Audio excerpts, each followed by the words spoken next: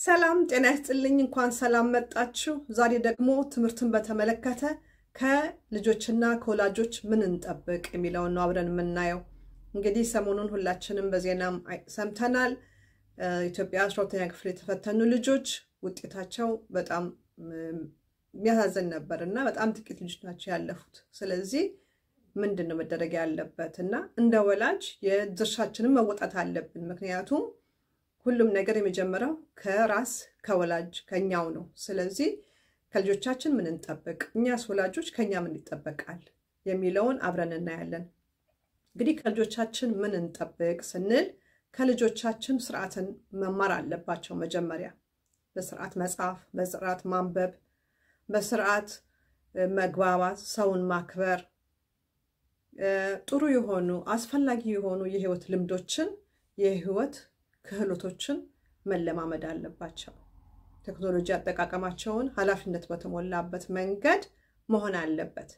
እንግዲህ ከልጆቻችን ራሳቸውን እንዲገዙ ራሳቸውንም ሌላውንም እንዲያከብሩ ሁሉም ነገር መማር አለባቸው ብለናል። አሁን ለምሳሌ ንባብ ላይ ብዙ ትኩረት እናደርጋለን። ንባብ ገና በልጅነታቸው ልጆቻችን ንባብ ማንበብ አለባቸው እንላለን። ምክንያቱም ንባብ ቁልፍ ነው። ልጆች ማንበብ ከጀመሩ በትምህርት ይጎብዛሉ። ምክንያቱም የሚያነብ ልጅ አንድን ነገር አንብቦ ጽንሰ ሀሳብ ይረዳል። መልስ ጥያቄ ሲቀርብለት መልስ መመለስ ይችላል። ማንበብ የሚችል ልጅ ብዙ ቃላት ዝርዝርን ያውቃል። ለመግባባትም ጥሩ ይሆንለታል። ከዛ ደግሞ በራስ ጥረት በማንበብ ሌላም ሌላም ነገር በራሱ መማርና ማወቅ ይችላል። ስለዚህ የእውቀት አድማስም ያሰፋለታል ማለት ነው። መጽሐፍ ደግሞ በጣም አስፈላጊ ነው የምንለው ለምንድን ነው? ልጆች በእጃቸው አንድ ነገር ሲጽፉ የጻፉትን ነገር የማስታወስ ችሎታ ያዳብራሉ። ምክንያቱም type የሚያደርጉ ከሆነ የተወሰነ ያክል ነው የሚያስታውሱት። በእጅ የሚጻፍ ነገር ግን እኛ ራሳችን በወረቀት ላይ ስንጽፍ ይበልጥ እናስታውሰዋለን። ስለዚህ ያ ጥሩ ነው። ሁለተኛ ነገር ደግሞ በተለይ አሁን ልጆች ወይም ስማርትፎን ወይም ኮምፒውተር ላይ የሚሰሩ ልጆች ከሆኑ አረፍተ ነገር በትክክል መጽሐፍ ማቆማ በተለይ በስልካቸው የሚጠቀሙ ከሆነ አጫጭር አረፍተ ነገር የማይሆን የተሰባበረ ቃላትን ደራርበው ይጽፋሉ እና ሙሉ አረፍተ ነገር መጽሐፍ ተረስቷል። የሰዋሰው ግራመር ምንም እየተረሳ ነው። ስለዚህ ያ በጣም መጠንቀቅ ያለብን ነገር ነው።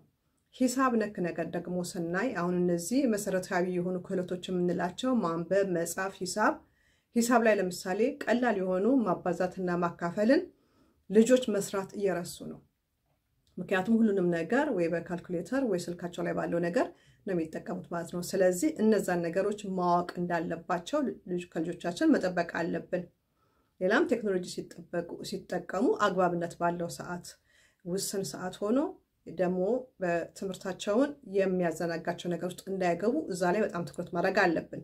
ልጆቻችን ሱስ የሚያስሱ ነገሮች ወይም ደግሞ የማያስፈልግ ልክ ያልሆነ ነገር ውስጥ እንዳይገቡ ሁሉን ነገር ተነጋግረን ያንን ነገር ማወቅ አለባቸው። ያንን ነገር ደግሞ አውቀው ማክበር መቻልን አስፈላጊ ይሆናል። ስለዚህ ያን ነገር ማሟላት አለባቸው። እኛ ወላጆችስ ምን ይጠበቅብናል? እንግዲህ ወላጆች ልጆቻችን ትምህርት ቤት ስንልክ ለምንድን ነው የምንልከው? እውቀት ገብይተው እንዲመጡልን ነው እንጂ እንደማቆያ አይደለም መጠቀም ያለብን ትምህርት ቤቱን። ስለዚህ ልጆቻችንን ጠዋት አድርሰን ከዛ ማታ እንመልሳለን እና ሌላ ምንም አይነት ግንኙነት ከትምህርት ቤቱ ጋር ሊያኖረን ይችላል። ያ ደግሞ ጥሩ አይደለም። ልጆች ትምህርት ቤት አስተማሪዎቻቸውን ወላጆች እንዲያውቁላቸው ይፈልጋሉ። ወላጅ ደግሞ በተለይ ዓመቱ መጀመሪያ ላይ ጥሩ አጋጣሚ ይኖራል። ብዙ ጊዜ ወላጅን ማግኘት ይቻላል። አልበለዚያ ደግሞ ባለው አጋጣሚ ስልክ በመደወልም ይሁን እዛው ድረስ በመገኘት የልጆቻችንን አስተማሪዎች ማነጋገርና ማወቅ አለብን። ምክንያቱም ልጆቻችንን አስተማሪዎቻቸውን ስናቅ ልጆቹን ስለ ልጆቹ ልነግራቸው እንችላለን። የኔ ልጅ ይሄ ይሄ ድክመት አለው፣ የኔ ልጅ ይሄ በዚህ በዚህ ነገር ጎበዝ ነው ብለን መደገፍ ያለበትን ነገር እንነግራለን። ያ እንግዲህ ምንድን ነው የሚሆነው? እኛ አስተማሪን ሄደን ስናናግር አስተማሪዎቹ እኛ ለልጆቻችን ግድ የሚለን ወላጆች እንደሆኑ ስለሚያውቁ ለነዛ ልጆች ልዩ ትኩረት ይሰጣሉ። ምንድን ነው እነዛ ልጆች አንድ ነገር ወደኋላ ቢቀሩም ከኛ ጋር ግንኙነት ስላላቸው ምን እንደሆነ አናውቅም፣ ግን ይህ ልጅ ወደኋላ እየቀረ ነው ብለው ለወላጅ መልዕክት ሊልኩ ይችላሉ። ነገር ግን እኛ አስተማሪ የምናናገረው ልጃችን መጥፎ ውጤት ማውጣት ሲጀምር ነገሮች ወደኋላ ሲሄዱ ጠብቀን ከሆነ ልጃችን ምን ያክል ጊዜ ወደኋላ እንደቀረ ራሱ አናቅምና ከዛ ሄደን ስናናገር ያ ትኩረት መስጠት የነበረበት ጊዜ ስላለፈ ልጃችንን ወደዛ ለመመለስ ረጅም ጊዜ ሊፈጅበት ይችላል። ስለዚህ ከአስተማሪ ጋር የሚኖረን ግንኙነት በጣም አስፈላጊ ነው። ስንቶቻችን ነን ትምህርት ቤት የአስተማሪዎችና የወላጅ ስብሰባ ሲባል የምንገኘው? ያ በጣም ወሳኝ ነው። እኛ በሌለንበት መንገድ እኛ በሌለንበት ስብሰባ ላይ የሚወሰን ውሳኔ እኛን የሚጎዳ ሊሆን ይችላል። እኛ እዛ ከተገኘን የማይስማማን ከሆነ ይሄ ለቤተሰብ አይስማማን ብለን መናገርና ድምፃችንን ማሰማት እንችላለን። ነገር ግን እዛ ሆነን ድምፃችንን ካላሰማን የተወሰነ ውሳኔ ላይ በኋላ ላይ ባንስማማ መተቸት እንኳን አንችልም። ስለዚህ ሁል ጊዜ ተሳትፎ ማድረግ አስፈላጊ ነው።